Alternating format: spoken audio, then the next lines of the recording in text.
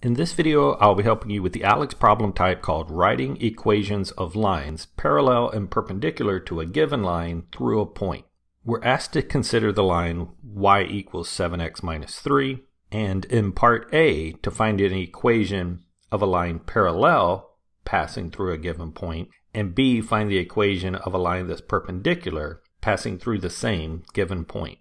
And since I will be considering a slope to be parallel, and a point, for each of these examples, I'll need to use the point slope formula that says y minus y sub 1 equals m times x minus x sub 1, where x sub 1, y sub 1 is the point and m is the slope. And since the line that we're given as a starting point, y equals 7x minus 3, is in slope-intercept form, I can tell that that slope is 7. And then for question A, since I'm writing the equation of a line parallel to that line, my slope must also be 7. And I have the point x1, y1 will be the negative 4, negative 2. And I can substitute into the point slope formula from here and have y minus y sub 1 is a minus 2. So minus a negative 2 would be plus 2 equals m, which we've identified as 7, times x minus x sub 1, which is minus 4. So again, minus a negative 4 would be plus 4. Now that we have the equation, we can simplify by first distributing the 7 on the right hand side. 7 times x is 7x, 7 times the 4 is 28, and lastly, subtracting 2 from both sides to isolate the y gives us y equals 7x plus a 26. So this is our equation for part A.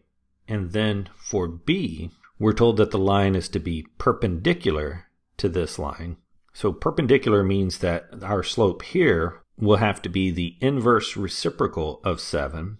So negative 1 over 7 is to be our slope and our point x1, y1 is again negative 4, negative 2. And from here, we can once again substitute into the point slope formula at the top. Our equation of the line would be y minus y sub 1, so minus a negative 2 plus 2 equals m, negative 1 seventh, times x minus x sub 1, which is again minus 4, so minus a negative 4 plus 4.